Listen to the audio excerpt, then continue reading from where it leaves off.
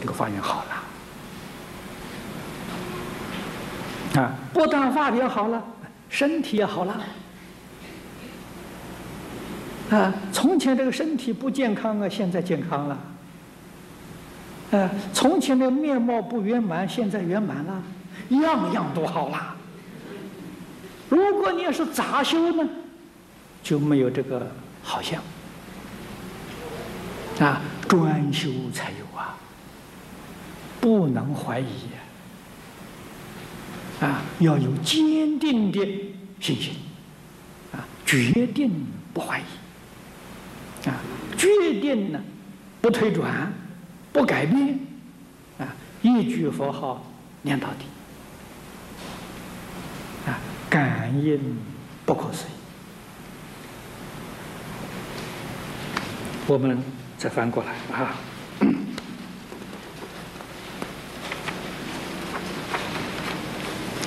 第四面，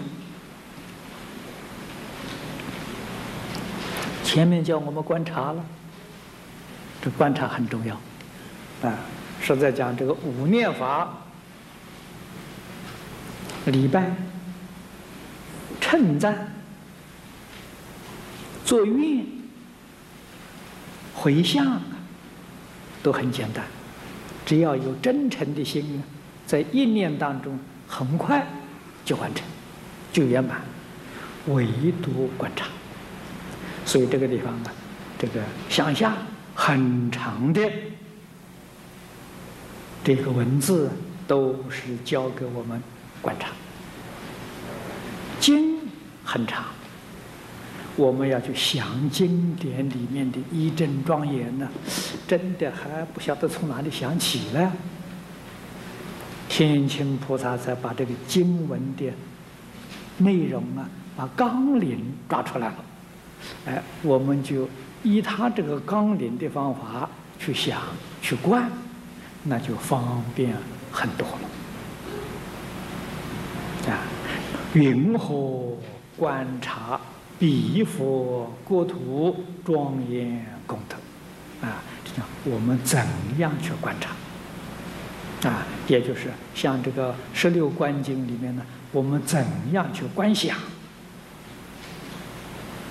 啊，说观想我们比较容易懂，说观察了就不懂。其实大家要把我刚才讲的这个意思要记清楚，观不分别不执着，啊。经典上讲的这个境界，清清楚楚、了了分明，这就是观察。别佛国土庄严功德者，成就不可思议力故。啊，整个西方世界一真庄严，一一皆是不可思议。啊。如彼摩尼如意宝性，相似相对法故，啊，这底下是不是举个比喻？啊，像这个摩尼如意宝珠，啊，得到这个宝珠，想什么它就变现什么，啊，这个。西方童话里面讲有神灯啊，它比神灯还要呃有效啊，变化了还要多多啊，这不可思议的太多太多了。正如世尊在《无量寿经》上所说的。即使西方世界的人也没有办法说得出来，极乐世界那个庄严有多少种类、多少数量，没有人能说得出来。等觉菩萨也说不出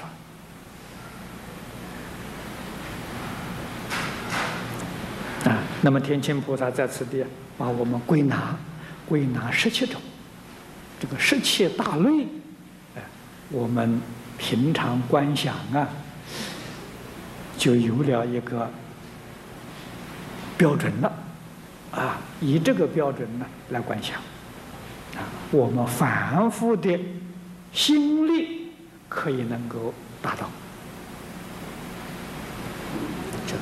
观察彼佛国土庄严，功德成就者有十七种。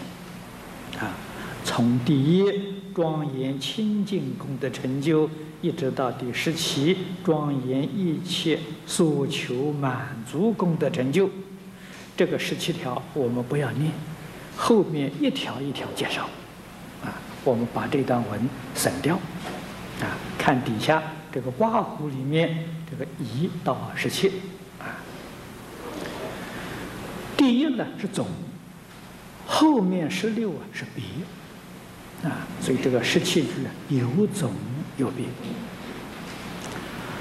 庄严清净功德成就，寂言观彼世界相，胜过三界道。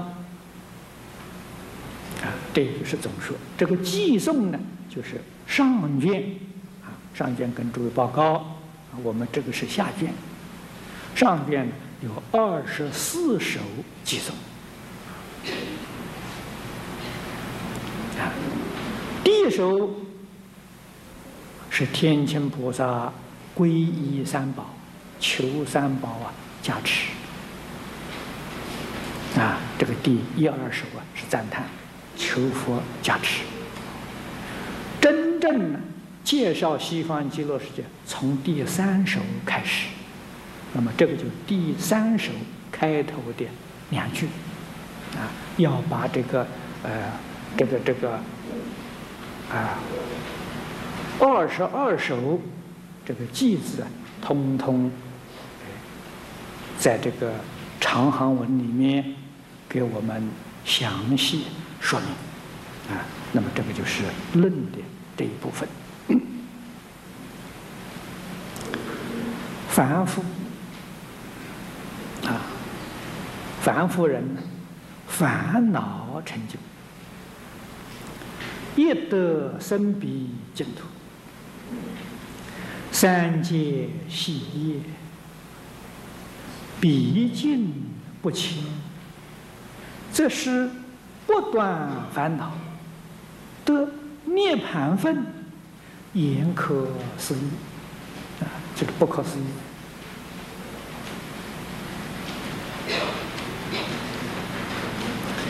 那么这一句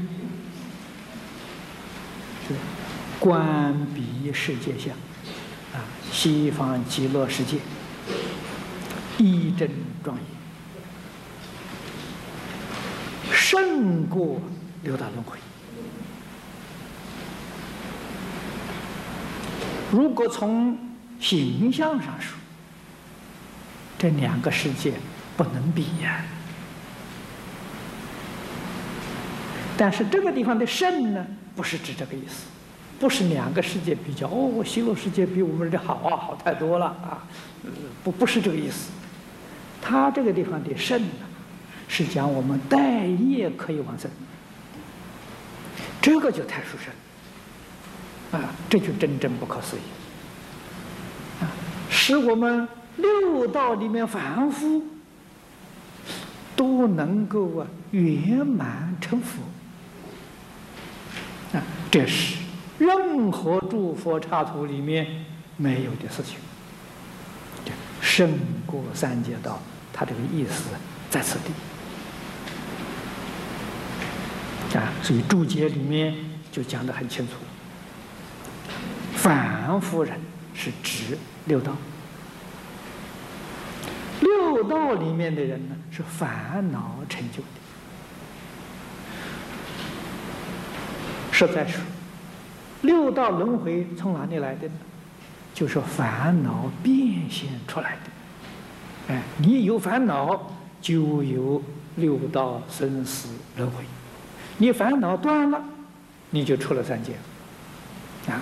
所以，阿罗汉断见思烦恼，啊，阿罗汉。